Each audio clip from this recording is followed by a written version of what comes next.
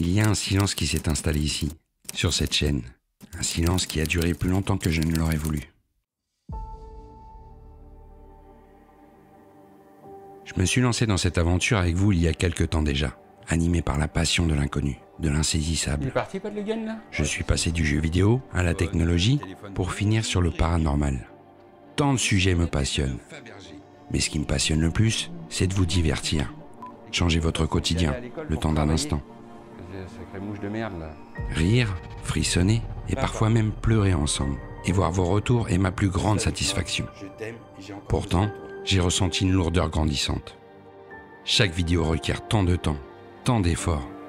Et j'ai eu le sentiment que ces efforts étaient engloutis dans l'immensité de YouTube, perdus dans le flot sans fin de contenu. Alors, j'ai fait une pause. J'ai quitté l'écran, le microphone, les nuits tardives de montage pour me retrouver, pour réfléchir à ce que signifie vraiment Paragost. J'ai pris le temps de me ressourcer, de chercher l'étincelle originelle qui a donné vie à cette chaîne. Maintenant, je suis ici, prêt à ouvrir un nouveau chapitre pour Paragost. Je veux revenir à ce qui nous a unis au départ, mais avec une perspective rafraîchie, une vision plus claire de ce que nous pouvons accomplir ensemble.